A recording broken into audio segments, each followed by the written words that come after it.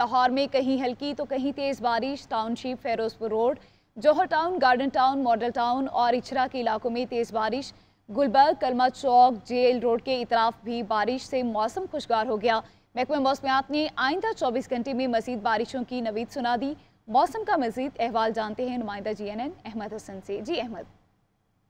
بالکل شہر میں کالے بادلوں کی انٹرویو ہوئی ہے اور اب سے کچھ لمحہ پہلے جو ہے شہر کے مختلف علاقوں میں کہیں ہلکی اور کہیں تیز بارش کا سلسلہ جو ہے وہ جاری ہے۔ محکمہ موسمیات کا یہ بتانا تھا، انتیس اگست تک شہر کے مختلف علاقوں میں بارش ہو سکتی ہے۔ تو اس وقت موسم جو ہے وہ انتہائی خوشگوار ہے۔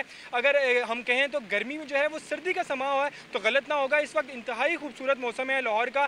اور محکمہ موسمیات کا یہی بتانا ہے کہ بارش کا یہ جو سلسلہ ہے، یہ چوبیس سے اڑتالیس گھنٹوں کے دوران جاری رہ سکتا ہے۔ اس وقت صورتحال یہ ہے کہ شہر کے مختلف علاقوں میں بارش ہو رہی ہے، خاص خاص طور پر Quaid Azam industrial area, Kalma Chowk, Ferozepur road, Liberty, Ichhra, ان تمام علاقوں میں اس وقت بارش کا سلسلہ جاری ہے، جو محکمہ موسمیات کا یہ بتانا ہے کہ وقت وقت سے جاری رہ سکتا ہے۔ دوسری جانب واسا ایل ڈبلیو ایم سی اور دیگر عملے کو بھی متحرک رکھا گیا ہے اور یہی بتانا ہے کہ شہر میں کہیں بھی پانی جو ہے وہ جمع نہیں ہونے دیا جائے گا اور نکاسی آب کا انتظام کو جو ہے وہ بہتر بنایا جا رہا ہے۔ پی ڈی ایم اے کا یہ بتانا ہے کہ یہ بارش کا جو سلسلہ ہے، یہ انتیس اگست تک جاری رہ سکتا ہے اور شہر میں اربن فلڈنگ کا بھی خطرہ ہے، جس کے پیش نظر تمام عملہ جو ہے وہ فیلڈ میں موجود ہے۔